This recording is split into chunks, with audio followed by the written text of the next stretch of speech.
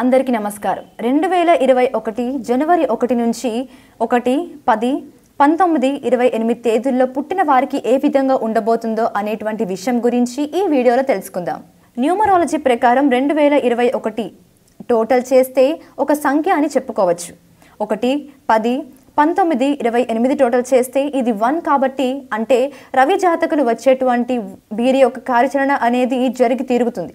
తప్పకుండా వీరి యొక్క ఆలోచనలు కార్యరూపం దాల్చే ఎటువంటి అవకాశాలు కూడా ఉన్నాయి. మార్గ మధ్యంలో కొన్ని కొన్ని ఒడిదుడుగులు ఇబ్బందులు కలిగినప్పటికీ ఈ యొక్క టోటల్ నెంబర్లో కలిపితే ఏ నెంబర్ అయినా సరే. ఒకటి వచ్చినట్లయితే ఆ వ్యక్తులు రెండు వేల ఇరవై ఒకటిలో జనవరి నుంచి ఏ విషయంలో అయినా వీరికి చిన్న చిన్న ఇబ్బందులు వచ్చినప్పటికీ కూడా వీటన్నిటిని కూడా అధిగమించి విజయాలను పొందే అవకాశం ఎక్కువగా కనిపిస్తుంది.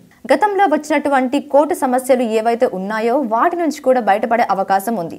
అదే విధంగా నూతన గృహము కొనుగోలు చేసేటువంటి అవకాశాలు కూడా ఉన్నాయి. అదే విధంగా వాహన యోగం కూడా కనబడుతుంది.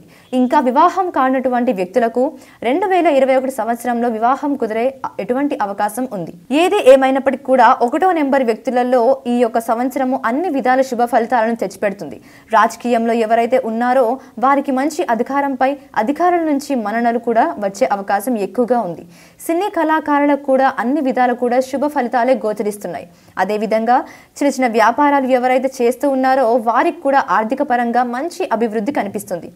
స్పెక్యులేషన్ చేసేవారికి అప్ అండ్ డౌన్స్ ఉన్నప్పటికీ కూడా విజయం అనేది వరించి తీరుతుంది. ఏది ఏమైనప్పటికీ రెండు వేల ఇరవై ఒకటి సంవత్సరంలో ఈ యొక్క తేదీలలో పుట్టిన వారికి జనవరి నెల నుంచి అనుకున్నది అనుకున్నట్లుగా సకాలంలో పనులను పూర్తి చేసుకోగలుగుతారు.